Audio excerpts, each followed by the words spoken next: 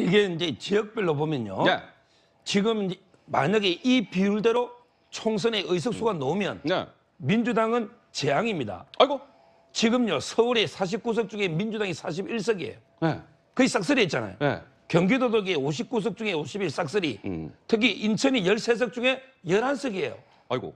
지금 이게 수도권이 민주당이 거의 뭐 8, 90% 싹쓸이한 상황에서 네. 지금 저 지지도를 놓으면 네. 서울은 이게 역전 아닙니까? 어허. 그다음에 인천, 경기도 접전이에요. 네. 만약에 국회의원 당선자가 저 비율대로 음, 나온다면 나온다면 일당이 바뀌는 거죠. 음. 아마 국민의힘이 오히려 이게 과반 이상 할 수 있는 이런 데 민주당으로서는 상당히 심각한 지지율이고 문제는 문제는 이게 추세라는 게요. 음. 잘안 바뀝니다. 앞으로 이게 한동훈 위원장의 지지율은 네. 계속 이게 우상향, 우상향. 우길 승천할 겁니다. 이재명 대표는요. 급전직하. 왜요?